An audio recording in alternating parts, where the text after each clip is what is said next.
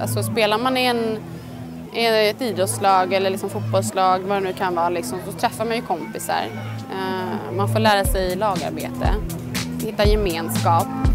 Men att sitta framför datorn kanske har sina fördelar också, men jag tror man behöver lite av, av varje.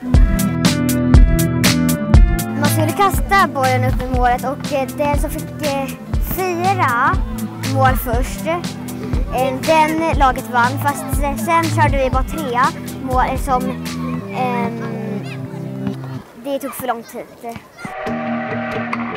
Idag är det någonting som heter Idrottslyftet. Idrottslyftet är ett projekt där eh, olika klubbar åker ut till olika skolor. Det är massa olika föreningar som kommer hit och det är bland annat judo, hockey, fotboll och de har ju så att man kan få prova på deras sport. Det är kul med idrott. Därför man kan göra massa olika saker. Jag ska prova på allting.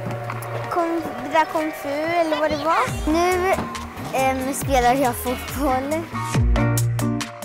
Em, den skulle inte så här äh, nudda marken fast den kunde studsa en gång i alla fall.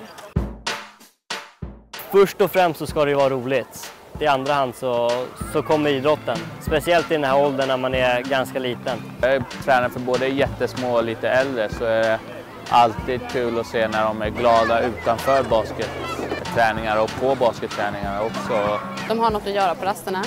Det blir en annan gemenskap.